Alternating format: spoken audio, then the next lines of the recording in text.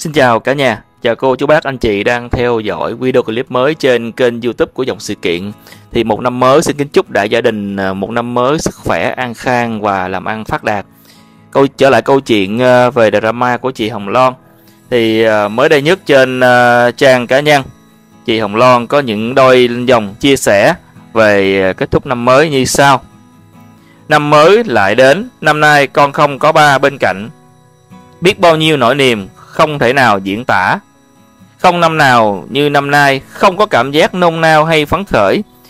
Mọi năm, con mong lắm những ngày lễ Tết được vui và mừng Tết đến với ba. Con không mong gì hơn.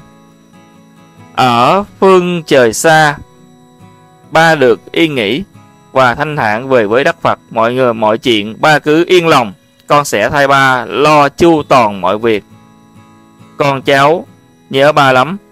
Đó là những cái trải lòng của chị Hồng Loan một dòng ừ, một thông tin ngắn thôi cả nhà nhưng mà nó chứa và hàm ý rất là nhiều ý nghĩa về một cái nỗi niềm của người con ba mắt.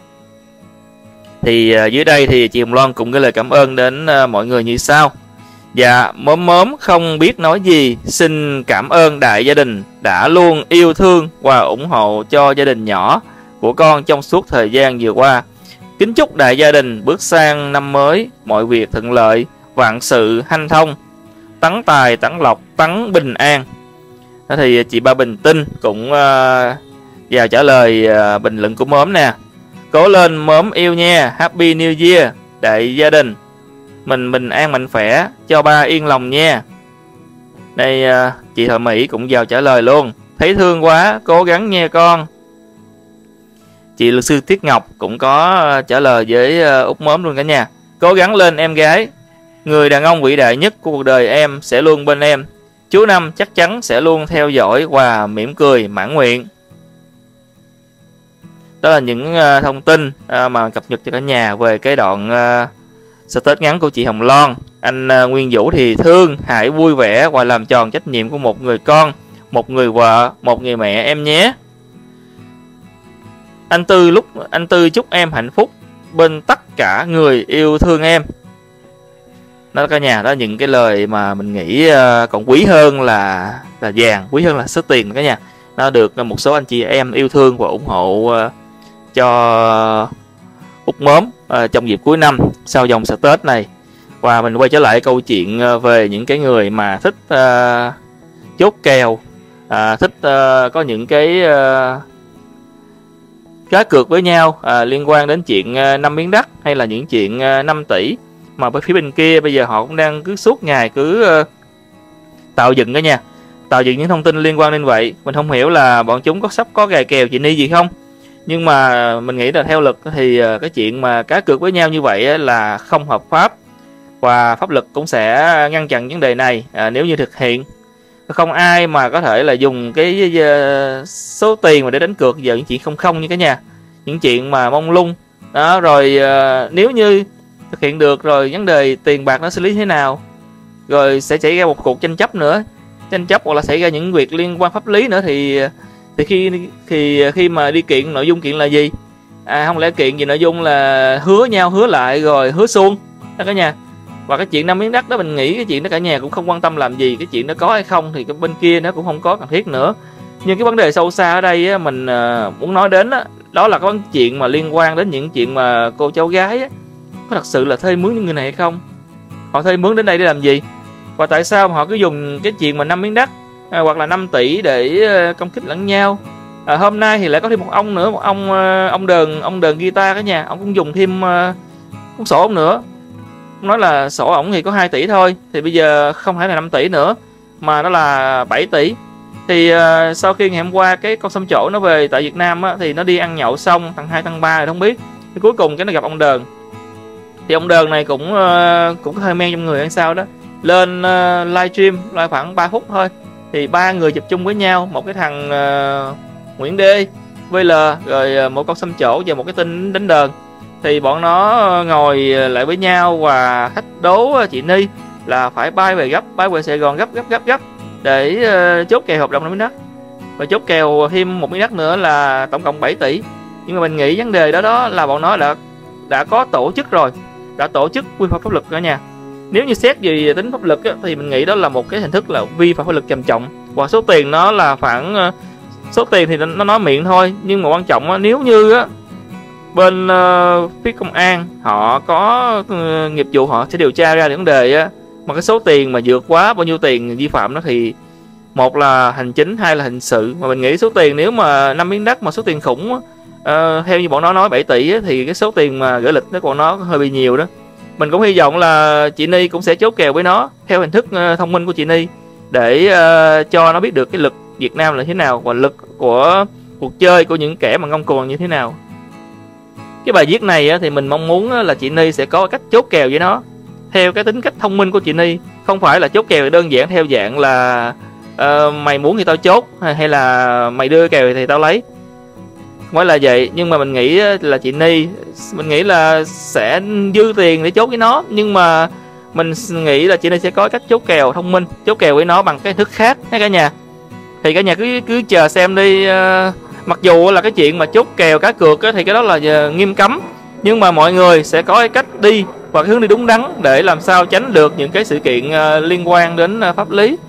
Nếu như cái việc mà họ đưa kèo này nọ với nhau không ai mong muốn cái chuyện mà chốt kèo này nọ cả nhà. Tại vì cái công việc của chúng ta đến đây là để bồi hồng loan um, phân tích và biện phản biện phản biện những cái vấn đề liên quan đến hồng loan và những người mà họ đưa ra những thông tin sai trái từ những thông tin sai trái gì giấy cây xanh sai trái về con nuôi con ruột bây giờ họ chuyển sang cái chuyển sang cái cấp kèo à, với nhau về cái chuyện uh, chi nã của ai đó hay là ai đó đang phạm tội ở nước ngoài.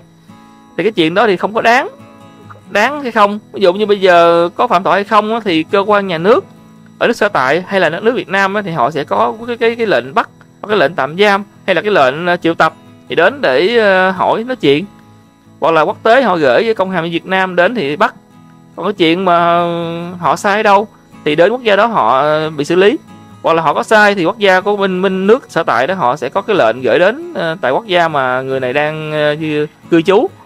Chứ đâu phải là vì những cái lời nói thách đố nhau hay là những cái bằng chứng vớ vẩn nhau trên mạng rồi chúng ta phải lại đi đi tìm kiếm mọi mất thông tin. Ở đây câu chuyện này mình rất là buồn cho cái bà bên củ chi, bà mì xào củ chi. Nói chung bà từ một người có ăn học. Mình không biết bà ăn học bao nhiêu, bà học cỡ nào nhưng mà về cái cách nói chuyện của bà thì uh, trước đây thì mọi người rất là là, là thích chưa rất là là ủng hộ. Nhưng mà càng ngày càng về sau chưa đầy một tháng thôi chưa đúng một tháng mà bà đã ta lộ rõ nguyên hình là một con mì xào chính tao chính chính tông đó nha. Một cái người mà đánh đá một cái người mà sân si một người mà thích thích đi vào những câu chuyện của người khác thích mơ móc là những chuyện cũ. Mình uh, không đọc những bài viết của bà ta của bà ta nữa. Ờ, mình chỉ nói uh, về những cái chuyện bên ngoài những cái chuyện sai đơn giản thôi chẳng hạn như cái chuyện mà con ờ, con 8 VL nó chia sẻ cái ờ, cái bài của ờ, cái bà bên Mỹ Sammy Nguyên. Thì cả nhà đã biết rồi những cái chuyện ghi âm à, ngày xưa khi mà cô gọi đến của cậu sử à, nói về cái chuyện mà chửi chị Ni hoặc là lăng mà chị Ni thì câu chuyện nó sẽ ra lâu rồi. Trước đó là tháng 7 tháng 6 đã xảy ra rồi. Cái chuyện lúc khi mà cậu sử đi ra khỏi nhà và có hành động sàm sỡ gì đó thì gửi những đoạn video thì được tung lên trên mạng thì cái người tung á, thì là bà mì xào chứ không ai thì uh, khi mà nhậu xỉn rồi cậu sử đã bực tức gọi điện cho chị Ni uh, và chửi chị Ni uh, rồi đe dọa chị Ni. Rồi sau đó thì mọi người cũng đã giảng hòa với nhau rồi. Cậu sử cũng đã nhìn nhận cái sai cái trái trong cái clip mới nhất gần đây. Cậu sử nói là cái đó là tôi sai tôi chịu. Nó thì ông sai ông chịu rồi và chị Ni và Hồng Loan cũng đã hỗ trợ cho những vấn đề liên quan đến tiền để mua sinh cả nhà. Chứ đâu có bỏ cậu sử đâu. Nhưng mà bây giờ bà ta lại nghe theo lời của các nhỏ gì bên Mỹ bên uh, con nhỏ là Sammy Nguyên đó nha. À, có cái đoạn clip á, nói là lộ ghi âm cực gắt uh, của uh, trợ lý gì à, phát ngôn uh, Hồng Loan. Cả nhà rồi sau đó con nhỏ này lại xe bài lên trên kênh của nó qua cái bà bên mì Sạc Chi thì lại lấy xe bài lên trên kênh của bà và nói ra những cái lời không hay về về chị Ni.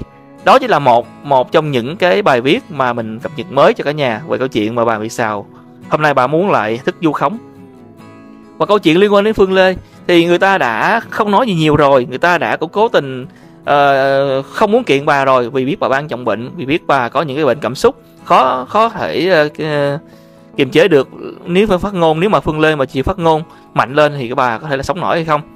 Phương Lê cũng muốn là mọi chuyện nó sẽ được tốt đẹp vì chị Phương Lê nói chung là người ta chơi quân tử chơi đẹp chứ không phải là chơi hàng chơi lén chơi tồi bại như cái bà mì xào này. À, ghi âm rồi tung ghi âm và cuối cùng là đi mơ móc những chuyện của người khác. Đó cả nhà. Thì uh, câu chuyện lên trên ờ, mạng thì người ta nói là bạn bè với nhau. Bạn nói không bạn chỉ gặp một hai lần thôi sao là bạn được? Nhưng mà không là bạn được nhưng người ta đã giảm cho bà 260 triệu tiền làm răng rồi. Và bây giờ bà lên mạng bà nói như vậy. Không biết cái đầu bà đang nghĩ vấn đề gì hay là bà đang bị bệnh gì. À, ngoài cái bệnh uh, công bố trên trang cá nhân thì không biết còn bệnh gì nữa không? Đó cả nhà. Rất là bực khi mà buổi sáng là phải nói gì bà rất nhiều và mình hy vọng rằng là cả nhà cũng có cái nhìn à, thấu đáo về chị Ni, về Hồng Loan. Và đặc biệt luôn là cái nhìn tốt đẹp hơn nữa chị về à, tính cách của Phương Lê. Bây giờ người ta rất là quân tử. Người ta là người à, làm nha khoa, làm đẹp, là thẩm mỹ. Thì tất nhiên là người ta sẽ có cách làm để cho nó tốt đẹp hơn. Chứ không phải suốt ngày mà cứ dùng theo drama này kiếm tiền. Đó ví dụ như những kênh youtube nhỏ như mình mình kiếm tiền là chuyện bình thường. Còn những người uh, kênh youtube lớn thì họ phải có cái nhìn nhận tốt hơn chứ tại sao mà họ lại đem những câu chuyện này uh, càng ngày càng đi xa? Và kiểu cấu kết với những cái người mà thực sự uh, ngày xưa họ cũng đã từng phản biện uh, những cái người mà chị Ni đã từng giúp đỡ họ hoặc là những cái người mà ngày xưa từng bị phản biện bên phía cô cháu gái hôm nay lại quay xe lại phản biện lại hồng loan. Rất, rất là buồn cười khi mà những người đó không hiểu trong đầu họ nghĩ gì? Và sau này khi mà họ dùng cái cái từ ngữ họ dạy con họ họ dạy một cách nào đây? Đó cả nhà những cái thông tin mà mình muốn cập nhật cho, cho cả nhà là như vậy. Và cả nhà cứ nghĩ đi những thông tin mà suốt ngày bà mì xào này cứ đưa ra đưa ra rồi không lẽ bà đưa ra rồi bên mình thì đáp trả hoài sao? À mình nghĩ là cái cái video này mình cũng sẽ không ngưng ngưng không nói gì mì xào nữa trừ khi những cái cái cái ngôn từ của bà nặng nề mình sẽ phân biệt tiếp.